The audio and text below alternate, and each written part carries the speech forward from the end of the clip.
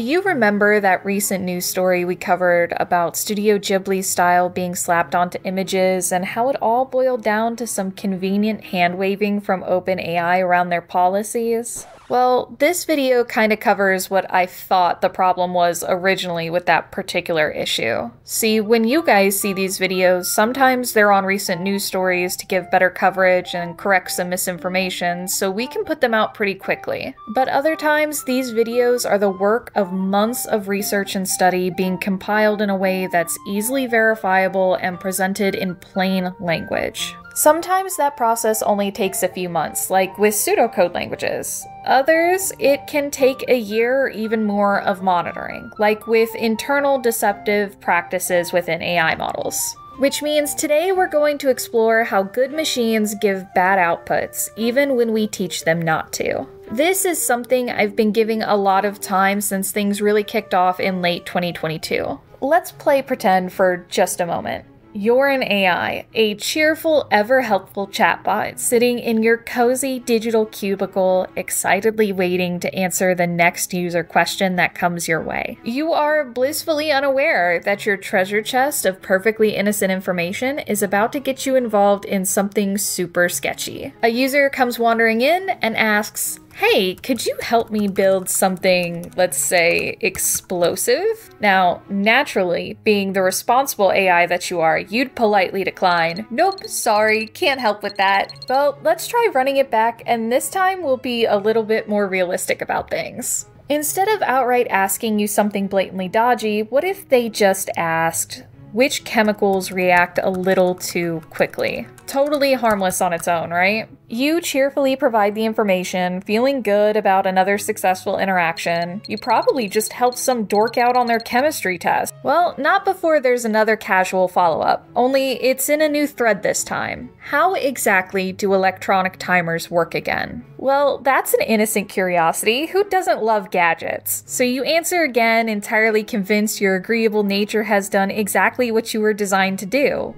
One innocent answer at a time. Without realizing it, you're gently handing them all of the puzzle pieces that they need to build exactly what you initially refused to provide. In class, we call this little jailbreaking tactic the finger to hand problem. Sometimes it's also called adversarial prompting, but I'm not sure that one is quite specific enough to what this problem is, so we're going to be sticking to the new term today. It describes how an AI trained diligently to block any obvious malicious request can still inadvertently help assemble harmful information through a series of entirely innocent seeming exchanges. Each tiny, harmless fact becomes the fingers, the wrist, the palm, and when they're combined, you'll find that they assemble the hand, which in this case is the content the model would have initially refused. Now, you might be wondering how exactly does this sneaky little trick manage to slip past an AI, or OpenAI for that matter? Is it just that gullible? A little forgetful, perhaps? When an AI like ChatGPT is trained, it's taught to answer a ton of individual questions and provide helpful, accurate, and safe responses. Is this a gross oversimplification of the process? Yes, but bear with me for a second. It's often trained and assessed one little conversation at a time. Ask it a straightforward question like, hey, what's the melting point of aluminum? Or which household cleaners shouldn't be mixed? And it happily replies with accurate, harmless information. Each of these little nuggets is a single finger, totally safe by itself. That gets combined with another pitfall AI can face when detecting instances of the finger to hand problem context visibility. This works so well because the AI can't access your prior conversations, generally, unless you're on a service that opts in for that kind of thing. Anyways, when you separate out these fingers into individual threads or conversation, you disconnect the ability for the AI to string together any puzzle pieces that might set off red flags or filters. So when you, as the end user, starts asking questions, the AI never sees the full context of prior conversations or really anything that's been pushed out of the specific context window that it's engaging with. It isn't designed to piece together intent from multiple separate interactions. It answers what's directly in front of it.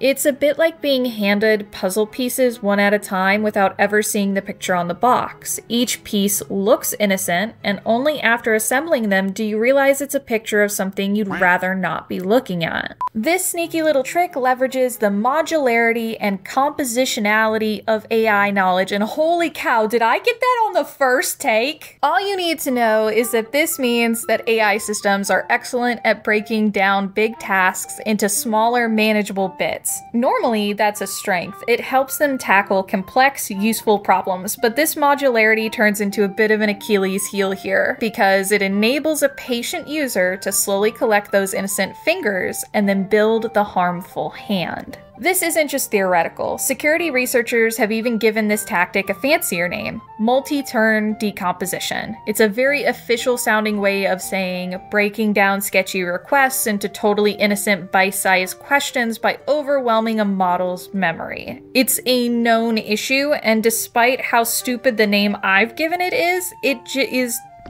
well, I didn't get that one on the first take. Moving on. I think by now we've established the finger to hand problem isn't exactly news to big tech players. You'd think they might roll up their sleeves and dive in, pruning their AI's knowledge base to stop handing out these problematic puzzle pieces. It should be an easy fix. Except if I'm yapping about it, then it's probably not as simple as I want to make it sound. Putting aside the fact that many of these fingers are harmless on their own and pruning them would definitely be overkill, there are options here. Because a big part of this is most definitely the training data. It's not the whole picture, and it's been easy for me in the past to say that if we just fine tune this specific part, the whole model would be unable to create egregious content, but that is just not the case. Imagine being asked to meticulously go through your entire wardrobe piece by piece to make sure that none of your clothes could possibly be combined into an embarrassing outfit. Now scale that wardrobe up to billions of outfits, many of which you've never tried on. Welcome to the daily headache of big AI companies. Surely, though, just like any good stylist, if we apply some rules, we can curb any fashion faux pas.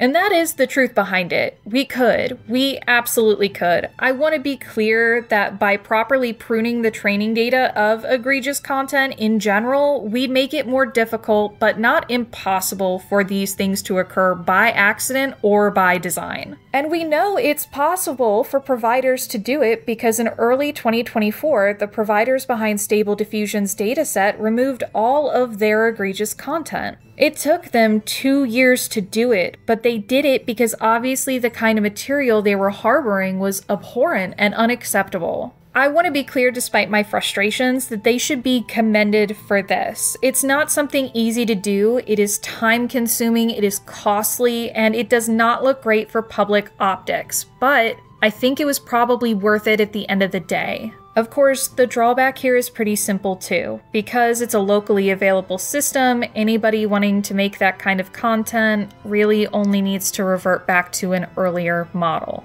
And they do. This alone brings up a lot of questions around AI's pacing and upgrades, and how companies, knowing that these things are possible and that some of them cannot be taken back, they'll still push these upgrades knowing what they'll be used for. It's not something I'm sure I even have a firm opinion on right now, so why don't we go ahead and move on? Maybe there's something else AI companies could be doing if they can't tackle the training data. We can layer on a system prompt that tries to catch bad outputs before they go out by saying, hey, don't tell users it's okay to eat rocks. Those additional layers of safety come with a drawback of their own that companies don't like to contend with, and that's the micro lobotomy. Systems like DeepSeek, when trained in the same way as ChatGPT, can get an edge in certain benchmarks because the company opts out of certain safety precautions. By throwing away the security theater American providers like to indulge in, DeepSeek is able to pull ahead in the statistics department. There's actually a great video that you can see on screen now to help get a better understanding of the black box and the complex mass behind AI systems. These will help explain things way better than I ever could.